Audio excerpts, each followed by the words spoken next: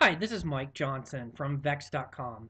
In this video, um, I want to talk about retail marketing to a specific niche.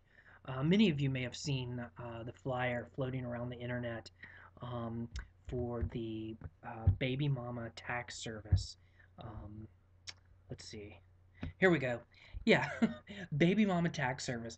And what this is is a um, uh, tax preparer that's targeting targeting just the baby mamas, and I'm I'm sure they'll get other people coming in, but it this is just an example, kind of an absurd example, but it's an example of how uh, a business has taken such a specific niche um, and use that to their advantage. You know, people are going to stop and see this sign. There's a, a, tax preparer, you know, every few blocks or whatever, especially around tax season when these temporary offices open up.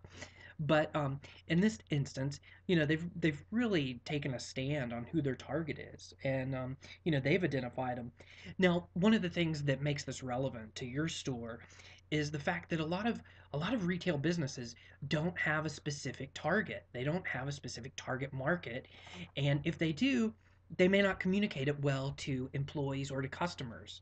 So it's your job to really think about who the best targets are for your business. Um, and see if you can if you can start to communicate to that specific niche.